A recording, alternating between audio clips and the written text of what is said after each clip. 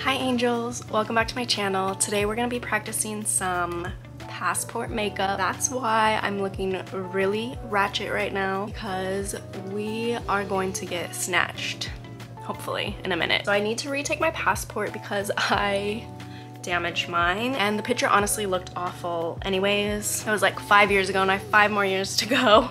But since I damaged it I need to get a new one. So I thought this is the perfect time really utilize the passport makeup trend which is just like very snatched. Like it's giving model off duty which I am not. I have a very round face and a very small eyes, lips, everything, but we're gonna try to snatch this small petite face up. I recently got my brows laminated and I absolutely love them. Shout out to my girl Ashley. So first step is I'm already primed and I'm going to go in with a matte foundation because I'm very oily. In photos you really don't want to look extra oily and glowy. So I'm gonna use the Dior Forever Matte. The spatula just allows for more of the even and precise coverage instead of splotching it all on. I find with the spatula, it just blends out a lot better. If you're using a spatula to apply matte foundation, you don't wanna wait as long to blend it in because it will dry. It's much more fast drying than a glowy foundation where you could put it all over your face with the spatula and then blend it in. You can't do that with a matte foundation.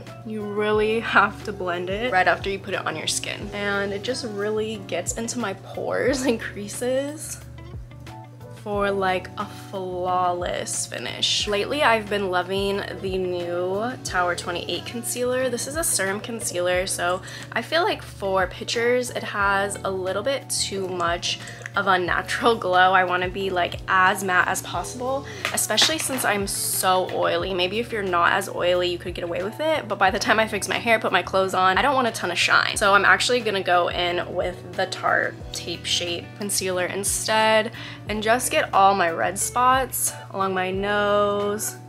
We'll get my eyes, a little on my chin. I'm actually just going to gently take this under my under eye instead of putting so much because I don't want to crease either too much even though we won't be smiling. Since I have such small eyes anyways, I'm going to be extending my eyeshadow out a lot so I'm not really going to use this at the moment to lift anywhere because I don't have space but if you do definitely use it to lift.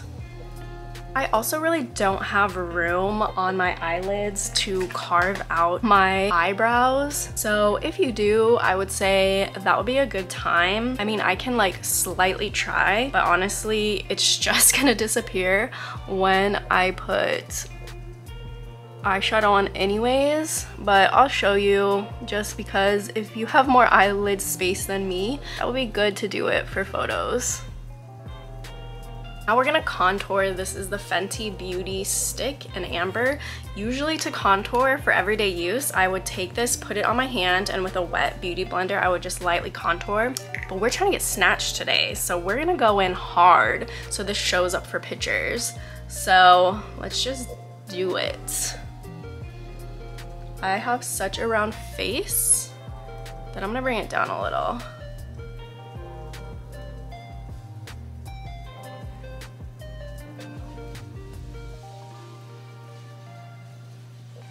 We're gonna do our nose too to try to snatch it. I'm gonna do a little bit more after because nose is smaller so it just kind of all disappears when I blend this out. Why not go for our lips too while we're at it?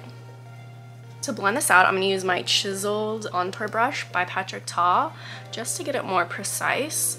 And you definitely wanna go up with it, not down, to drag your face down.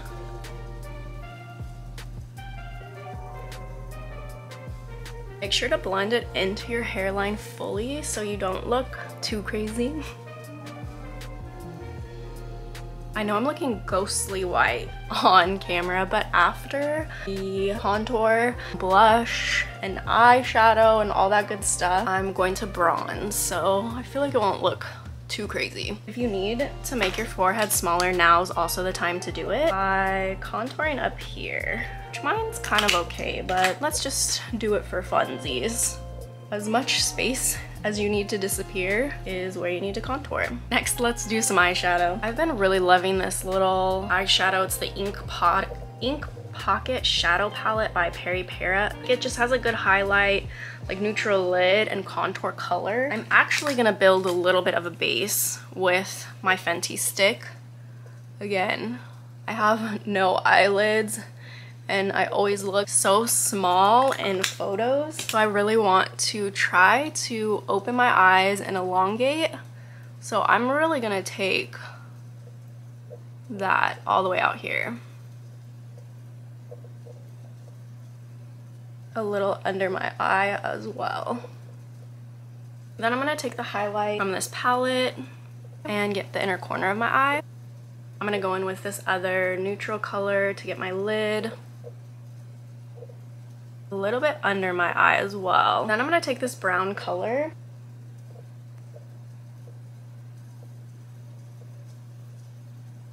I'm going to keep my eye open for this just so I can really be precise of where I want it to go.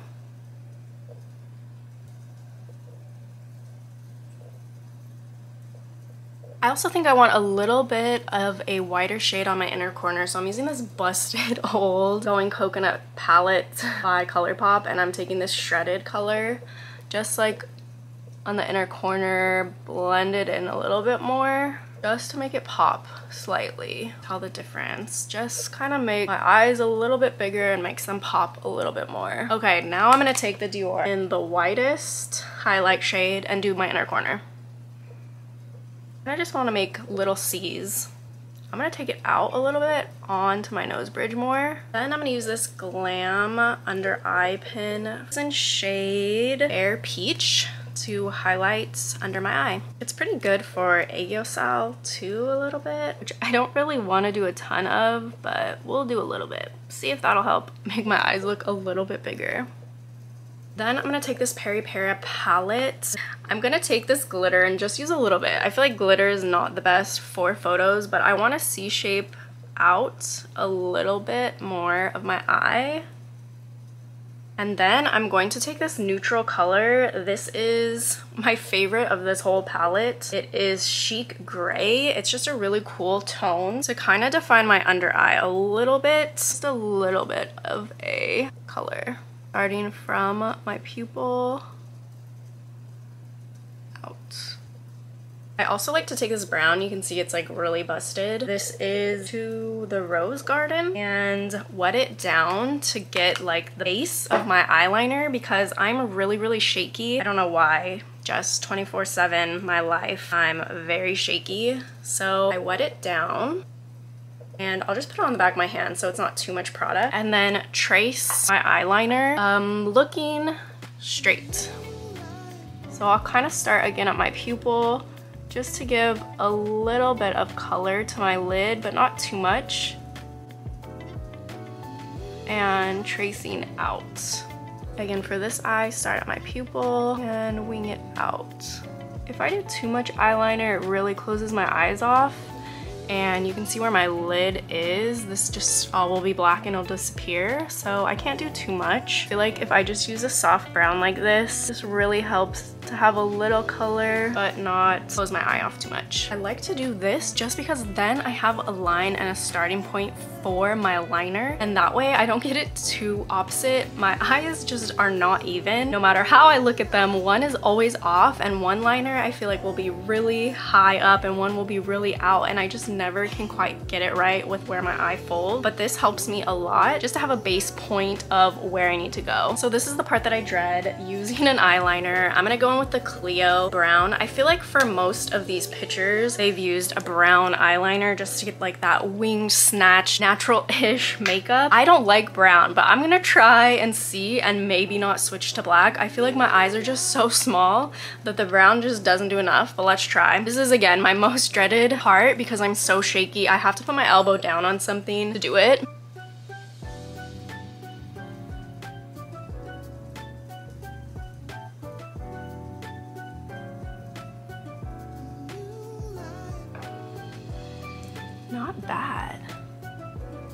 Gonna stop there because again, if I do too much, it's just not good. Definitely sisters, not twins, but I feel like it's not too bad, right? Like they're kind of going in the same direction. After I do that, I like to go back with my eyeshadow just because I feel like it helps elongate where I did my wing my winged liner a little bit underneath. Okay, I feel like we're looking a little snatched, right? I cannot get over these brown lips, like it looks so awful. I'm going to curl my lashes and then do mascara before I finish with the rest of my face. Just because I'm very shaky and I always have to use my face to kind of hold my hand steady. So I feel like I'll end up with little marks and then I can kind of put the blush and bronzer over that and hide that. I also have no eyelashes. Why we have to fake it, right? I just restocked my favorite, favorite mascara. My eyes are very sensitive. My skin is very sensitive also. So this has been working the best for me and I've used it since they've released it pretty much. I'm not gonna worry too much about the ends. I'm gonna put some halfy lashes on. I'm gonna focus more on the middle and inner corner. See how pretty they look with just the mascara? Like this is the best mascara. Gonna re-highlight underneath my eye just because when I went in with that brown shadow again, I covered up some of the highlight. I'm gonna use these lashes from Ardell Lashes. This is the Lift Effect. I like these because they're just really pretty and natural, but I actually cut all my lashes in half. Surprise, surprise. So I'm gonna use the inner corner one of the lashes for the outer corner. My lash glue I've been using is by Doe we're just gonna mold the lash a little bit and let it get tacky and stick it on. And just bending this little miniature Polly Pocket lash, giving it some shape. Obviously, if you're using full lashes, you can do the same, but I can't. Looking kind of snatched, right? My, I need to practice my face too, you know? Like, my chin too is looking pretty good with that contour. So I just curled my lashes a little bit because my camera was overheating and applied a little bit more mascara. I feel like the eyes are looking pretty good. With any look that you do, you have to remember that you really want to match that look to your skin tone. So this is very like snatched, bronzy.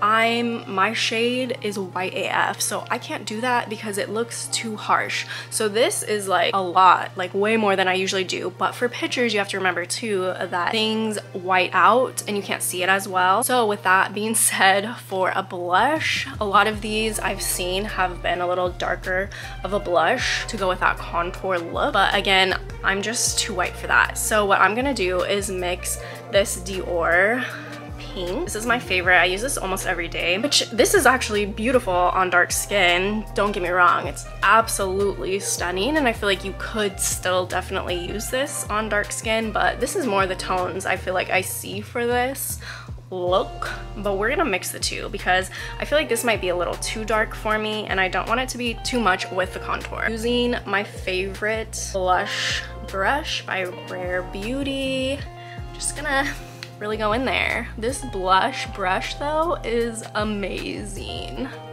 I am going to really focus on lifting my cheeks. Again, I'm very round and have a lot of cheek.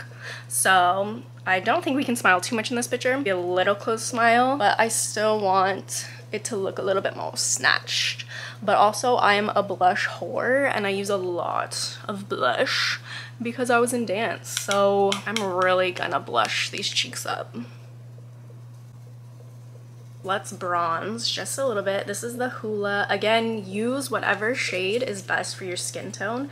This is light. It's the lightest one they have. Every single bronzer I've ever used has been way too dark for me, but this one has worked really well. Get all the way into your hairline too. We're gonna contour my nose a little bit more. This is the palette that I use. It's definitely more of the cooler tone. Again, like this light shade is perfect, but I'm gonna go in dark too because why not?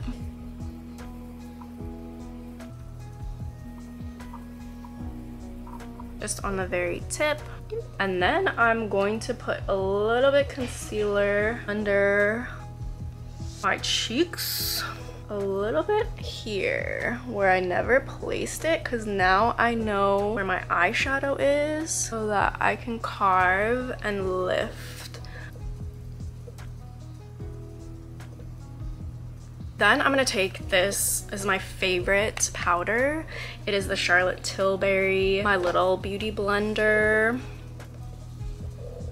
I'm gonna really press it all in here a little bit under my eye, just a smidge, up against my nose. Just wherever along that contour. Like you just, look at that difference. I'm gonna go up my forehead a little bit too. And my chin. Then I'm gonna take a little bit more on here and carve that out again where we just went and leave it a little bit. I feel like I went from a really round face to super mother effing snatched. I'm gonna take a little bit underneath to like go a step above, you know? Rare Beauty highlighter in Mesmerize. I'm just gonna use this for the tip of my nose because it's very pink. Then I'm gonna go back in with the Dior to snatch that out a little bit more, a little bit above my lip. And then using my finger, I'm gonna take it along my nose bridge.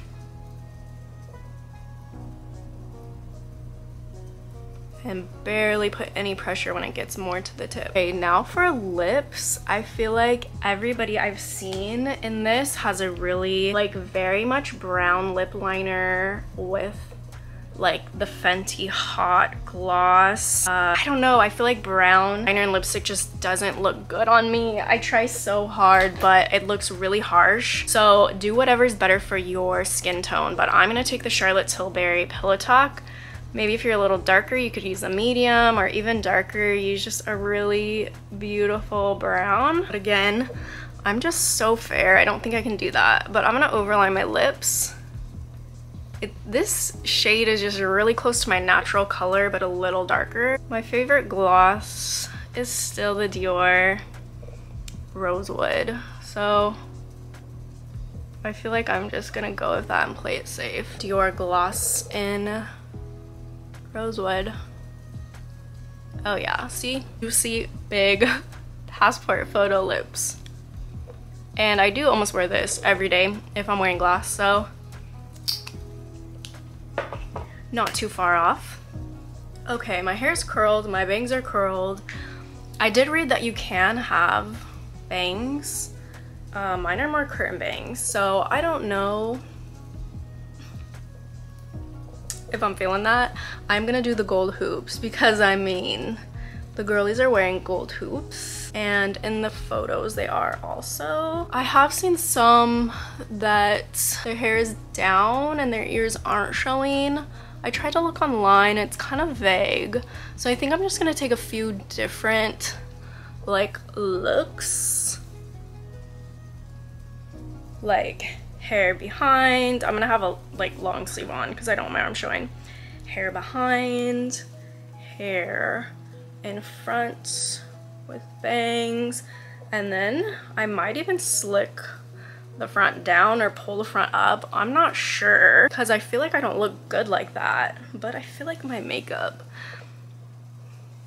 looks pretty good and I should wear it like this all the time. Anyways, you guys, that was the passport makeup tutorial look. I hope you enjoyed and as always, thank you so much for watching.